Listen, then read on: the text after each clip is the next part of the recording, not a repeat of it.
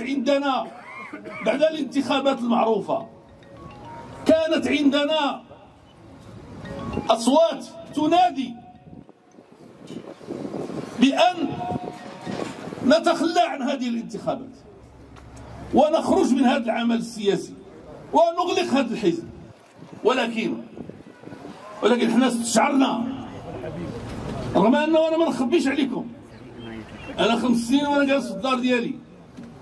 وما كان عندي حتى مشكل باش نزيد نتفرغ الأمور أخرى اللي كنعتبرها حتى هي من أحسن ما يكون ومن أحسن قولا ممن دعا إلى الله وعمل صالحا وقال إنني من المسلمين وهذه ما يقدر حتى واحد يمنعني منها. ولكن قلت واخا السن ديالي واخا الظروف الصحية ديالي ما بقاتش بحال قبل أنا غادي ننزل هذه المعركة. باللي جاب الله ولا كتب عليا الله سبحانه وتعالى نموت فيها غنكون سعيد لأنني غنكون متشهد.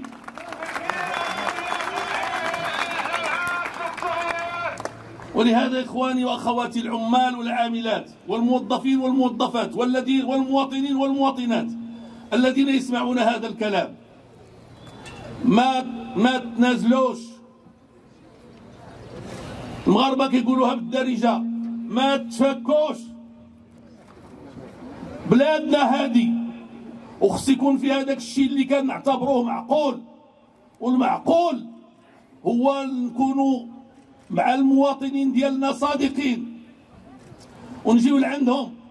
إذا كان الخير موجود نوزعوه بطريقة قريبة للعدل والمساواة. ولا كان الخير قليل حنا رحنا شعب اللي كنا كنعيشوا بالخبز واتاي وعاود ثاني مستعدين نعيشوا بالخبز واتاي إذا اقتضت مصلحه الوطن ذلك.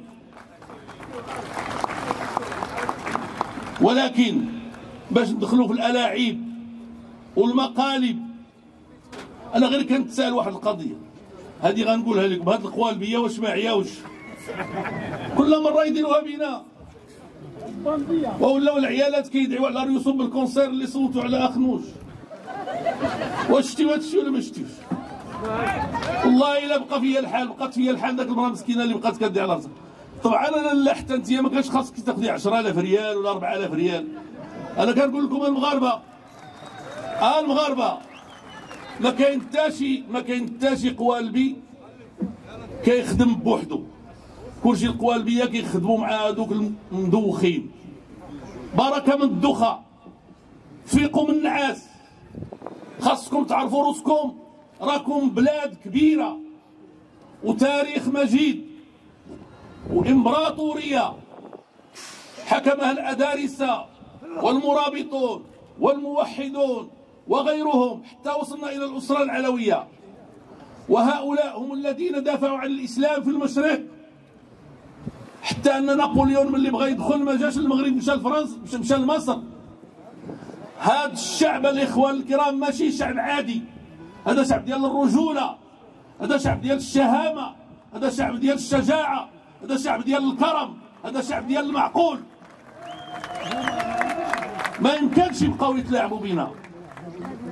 قلنا لكم وكنقولوا لهم اليوم هاد التلاعبات واخا تفلت كل مرة ما غادياش تفلت دائما.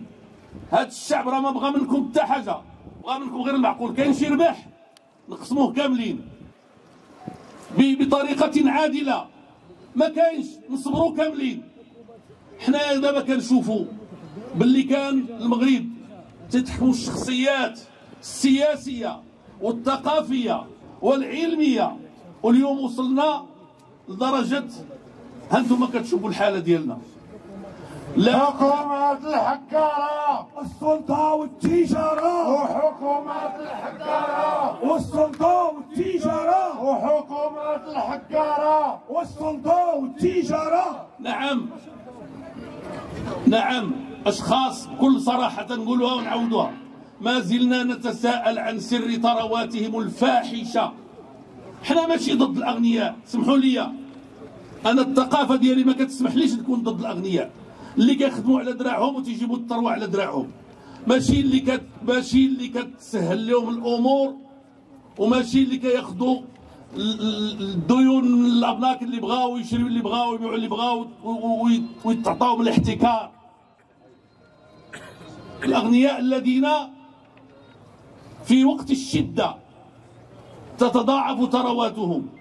في الوقت الذي عموم المواطنين يرزحون فيه تحت ضعف تحت غلاء الأسعار كما قلنا.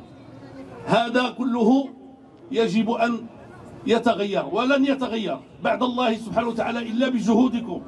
وجهودكم وتبقوا مناضلين وتبقوا صامدين وتبقوا في الأماكن ديالكم. ما كاينش تراجع الإخوان.